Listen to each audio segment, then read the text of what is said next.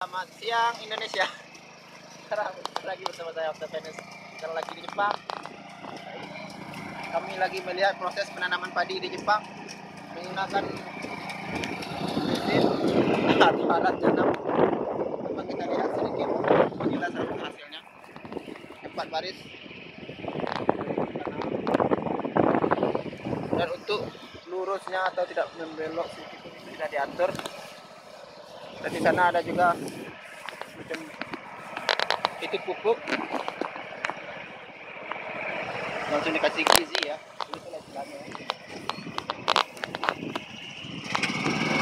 oh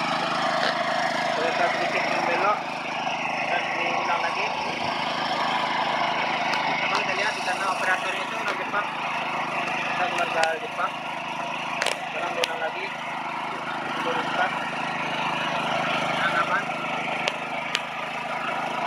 ataukah mulai ulang lagi dapat kita lihat di sana daerah antara kawan Jepang terdapat jauh sekali perbedaannya dengan Indonesia. Tingkat-tingkat di sini rata-rata sawahnya itu petak saja ya. Dan sistem pengolahannya pun cukup dua kali saja sistem rotari rotari dua kali saja. Setelah itu langsung ditanam. Beda dengan Indonesia. Dan di sana juga ada keluarga kita hewan yang tadi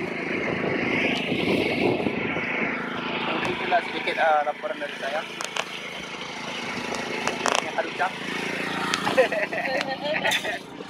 ah ternyata dimulai lagi uh, tanamnya. Mari kita lihat. Lebih dekat lagi coklat. Bagaimana sistem kerjanya?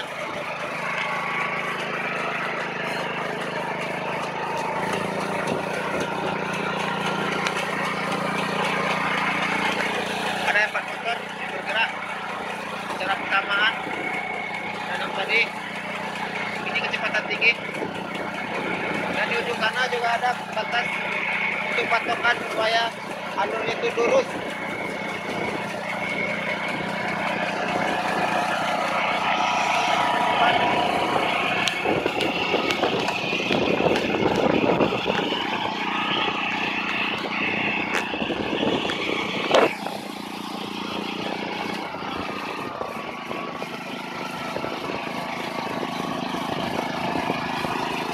Ini kita agak sedikit belok karena ada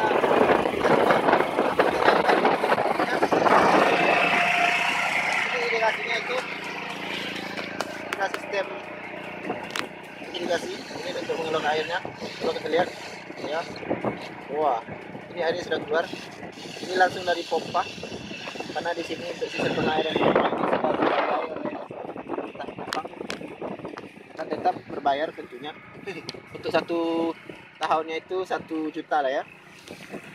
Ya mungkin itulah sedikit laporan dari saya tentang penanaman padi di Jepang También para.